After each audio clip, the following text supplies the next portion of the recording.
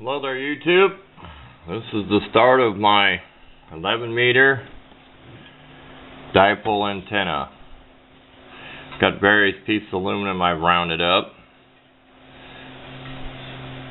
This piece, believe it or not, came out of an old set of aluminum crutches.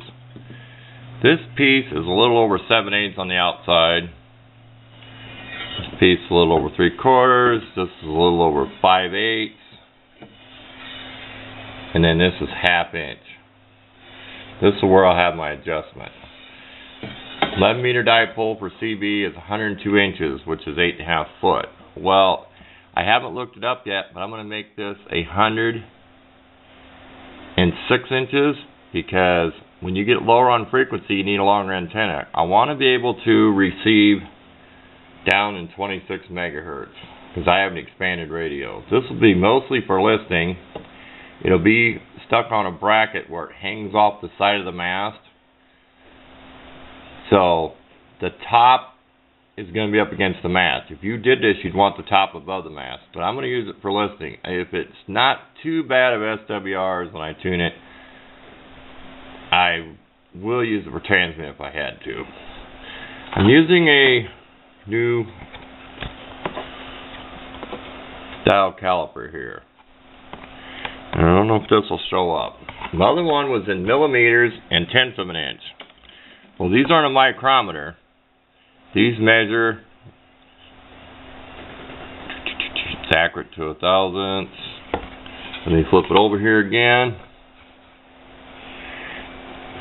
This only measures like hundreds. It's kind of hard to explain. Yeah. See where it says 64th on the top? That'd be the same as a penny penny out of a dollar, one cent out of a dollar, one hundredths. But for what I use it for, if I need a micrometer, I'll get a micrometer. I won't say where I got it at. You can just about guess. This isn't too bad of a brand, but it's a lot better than the other ones. The other one, I'll show it first. This old junky thing I used to have to put up to a tape measure because it only has millimeters at the top and tenths of an inch at the bottom. Well, I got tired of putting up to a ruler. This actually has your inches. I don't know if you can see it. Has your 1 8, 1 quarter, 3 8, half inch, 5 8, 3 quarters, 7 8, 1. Makes it a lot easier on me. Plus I have the dial I can read. So if you look at the dial you can see that. 1 8, 1 quarter, quarter. Let me bring this out here. 1 8. You see that's about an eighth of its gap. 1 quarter. It can be confusing because it doesn't really measure in thousandths. You can get like uh, if you study how it how it is and you study the math on it. You can get it to read fifty thousandths, hundred thousandths. You you can do that.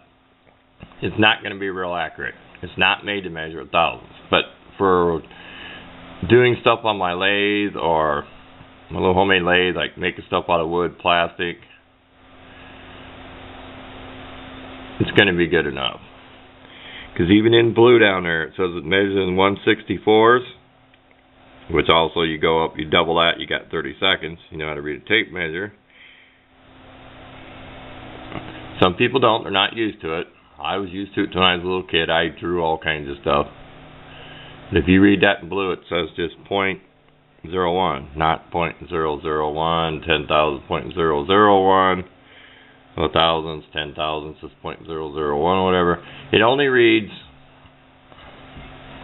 in one hundredths, like out of a dollar, point zero one. But it's worth it. It's worth the price. It was like twenty one dollars. But back to this. I thought I'd just include that in a video. I'm going to have a bracket that's made out of plastic because I don't want to use wood because wood conducts water, wood draws water, wood conducts when it's wet. I just thought I'd show just a up close pictures of the aluminum. I had to bore this out just a slight amount. And what I used was the sanding drum on my Dremel. If you use a stone, it's going to clog up aluminum. I had to bore this out just slightly. And I went in there measured, marked it an inch. I use my junky calipers for that. I'll set it like to an inch, and then I scrape I'll scrape a line with with this. So I don't have magic marker all over. So they're still usable. But when I was measuring this to be critical of fitting this together, but it's almost ready to go together all the way. But I thought I'd show that. Down here, well, it falls. Yeah, down here it's going to be sloppy. Okay. We're going to use some aluminum. I do have some real thin aluminum. It's off a tag, off a motor or something, or like a pop can. And it will still have a rivet in it. I'm not going to use screws. I'm going to use aluminum rivets. They're all aluminum rivets. I'm not using screws on anything. Screws just going to rust. But to take up this slack, because it's mismatched, you can see how sloppy that is. If I can get it down over to focus. Let's go against this black right here. Lighting ain't too great here in my work desk. Someday I'll have it better. One of these fumbling videos. Everything's in the way. I'm running out of desk. I gotta get this reel to reel off here. And I'm also going to make a way to cover up my radio equipment when I'm grinding and stuff flying all over. But I'm going to use something to take up the slack. Because it will be connected electrically, just like radio signal. I, I always think of it the same way. It is the same thing. You want a good connection. So I will have aluminum rivets in here. But to take up the slack, it'll probably just be a piece of pop can. It's thin enough, I can wrap it just where I want it. Get in there where it's nice and snug. I'm going to put it in there about an inch. This way I want to make this thing as long as I can so I can listen to lower frequencies. So it'll be in there about an inch. And I'll have at least one rivet, of course. Maybe two. Because the way it's sloppy, I think I'll put a rivet across from each other. In case anybody else ever runs into this. But you look around in scraps and stuff, th these are parts of antennas, old uh, beam antennas, stuff I've kept over the years. I've got the little clamps that go around here. It's got the nut and the bolt, so it isn't a hose clamp. You can see where the bolt went against there. So I have that. I do have the end caps. So I have end caps for this. That's nice. It keeps the bugs and the moisture out. You're still going to get moisture inside of them. Unless you taped all this. And I'm not gluing stuff up. Gluing, then you don't have the contact that you should have. You want to put glue. Okay, this is one we had to pound in. The first video segment, I might have got cut because the batteries went went dead on me, but if I missed anything when I review, I'll make sure to put it in the text there in the description. This one I had to pound together. I had to actually use a little board, to tap it together. I got it equal to the line. Got a rivet in it. These have a steel shank.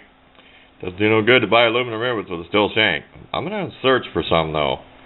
But these rest of the inside won't be their aluminum contacts, this and this. We're not going to get that too picky. Here's the one that had the slop in it. If I use a piece of this tag, little tag, come off an old drill press. I took the paint off the other side. And we're also marking if there's a hole in here where it goes in, so we do not accidentally try to put a rivet through a hole. So we have this marked, and I had to, it's not all the way around. And then we're going to put a rivet in there once that's together. But I wanted to show it before I slid together. It's going to be pretty snug. So we're off to doing that. Stay tuned. Okay. We've got the rivets in the piece. It's got the aluminum shim in it. There's a little bit of wobble. You have to really yank on it. A slight amount of wobble. There's none this way at all. Like a lot of pressure. So we're going with it. We don't want to put three or four rivets in it. If it was a real quality antenna, I'd make sure that we didn't have this problem. I'd probably use better material. But this is all scrap to get to here. And then the next end will just be the clamp. So we're going to do this doubled. This one beggar rivet in the bottom. Two small 8 inch rivets here that are short. And they're short. I think they was even shorter than this one. I was afraid they might hit each other. But when I drilled, I kind of went off just a hair there. because I have this mark. This is in an inch. I'll add that. This is in an inch, and the rivets are half inch, so it's halfway through what's sticking in there. Another grungy job. It doesn't matter how many times I've used hand cleaner today I washed my hands. This aluminum, because I washed it earlier and scrubbed it, it was all old stuff. Used steel wool, brass bristled. I even used a stainless brush on part of it. Uh, sandpaper, my drum sander and my Dremel, that powder, you will just get filthy. It's just a filthy gray black. But oh well, that's the fun of it. Getting cleaned up when you're done, but I can't tell you how long this piece is for sure. I think it's six foot because the other one's three foot. We only need eight eight foot and a half. But I want to go longer than that. I'm going to try to look it up somewhere. I want this tuned so I can also, I'll still be able to receive. I'll never talk there anyway. But I might as well make it with extra. Because down on 26 megahertz is actually illegally to be in and out of the CB band. You never know what you find down there. I have found great pirate rock and roll stations down there years ago. So if conditions ever come back and someone come from other countries, you will also find them on the HF amateur bands where they're not supposed to be, and all over the shortwave broadcast band. There's been some favorite pirate radio stations, so we're looking forward to that this winter. If I ever get one, I'll record it. So they can't say anything about me broadcasting them on YouTube making a video because they're illegally broadcasting their stuff. Maybe get some voice, not actual songs. But pretty good. It's solid this way. There's a little wobble this way. But even if it's up in the wind wobbling, the whole thing's going to shake anyway. It's hard to show it. I'm trying to show it. It moves a little bit. I'm putting quite a bit of pressure there, but I'm just going to leave it alone. That shim took care of it. There's a little bit sticking out here. Doesn't matter. Suppose the person could tape this and seal this stuff up so the weather stays out. I'm not worrying about that. I know some people leave the end caps off the end of theirs so the water will drain through it. Also, there's a trick on the, the old beam antennas. Uh, a guy was telling me about years ago. They would put a piece of rope in here inside their beam elements, and we had epoxy on it. And they would have it rigged up in yards so they pre-stretched the rope a certain amount and had the rope tight as the glue was curing, and that piece of rope inside of the elements, because they were basically like just two sizes, it made it more sturdier. But I've never attempted to try it. That's just too much for me. But if anybody can hear the neighbors, I gotta apologize on this video. If you ever hear it, that's how it is. Got a lot of noisy kids over there getting yelled at. We'll stop here and that's about it for this part. This will be the first part because there's not much left. The second part will have how I'm making the mount and how it goes how it's going to go to the tower and depends how long that is and then we'll have the finished product up in the air. I have to find some coaxial cable. I think I have some I don't feel like crawling up in the top of my big shed but I may have some. Thanks for watching this part.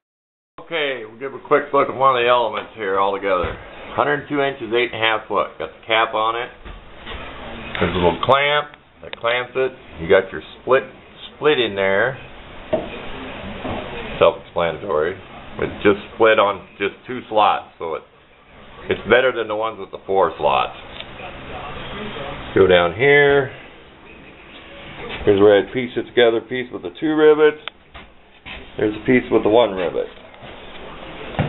So, kind of odd to have a short piece in there, and hard to tell it with bright light coming through the shed window here.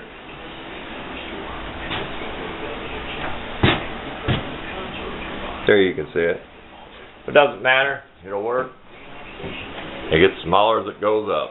But here's a quick look of it one of the elements.